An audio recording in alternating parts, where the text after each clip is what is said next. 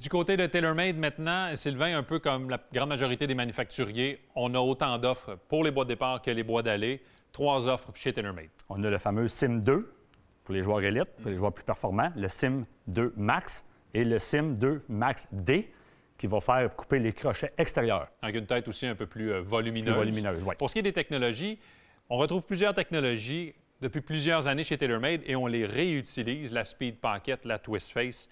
On a une couronne en carbone. C'est ce qui permet à ces bâtons-là d'être vraiment performants. Oui, puis sur le Sim 2, on a ici le V-Steel, un poids de 80 grammes qui sert à abaisser le centre de gravité Mhm. et un envol plus facile.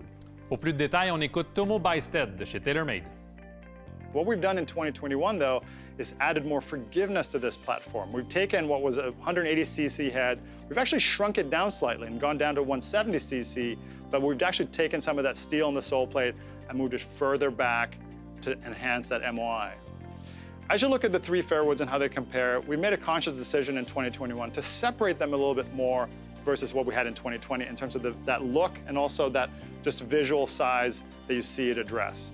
So starting with the Sim 2 Titanium, it's 170cc. This is going to be a huge hit for us on tour, but it's also going to work great for that average golfer out there who wants to just hit it really, really far.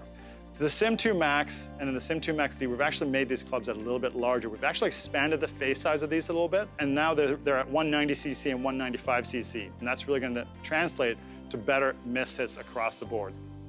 C'est ce qui complète notre tour d'horizon pour ce qui est des nouveautés 2021, de la bonne information pour votre prochain achat. Merci Sylvain. Ça me fait plaisir. La semaine prochaine, c'est notre spéciale émission sur les balles. Ne manquez pas ça.